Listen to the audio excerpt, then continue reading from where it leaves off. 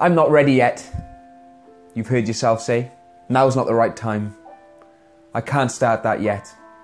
I'm too busy. Maybe in five years' time. When would now be a great time? It wasn't a good time for me to write a book, but I wrote it. It wasn't a good time for me to fly to South Africa to train in public speaking, but I did it.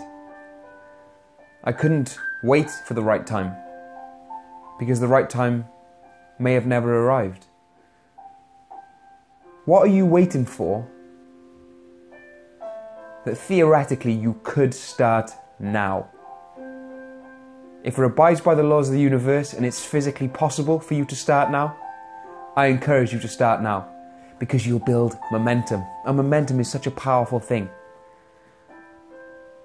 And you may even be in a position where four, five, six years' time, however long it takes for you to achieve your goals, people will say to you, You're so lucky. Because you're an overnight success. And you can just smile on the inside knowing that you started when it didn't seem to be the right time. Because the truth is, there may never be a right time. Start now, get going, create momentum, and live empowered.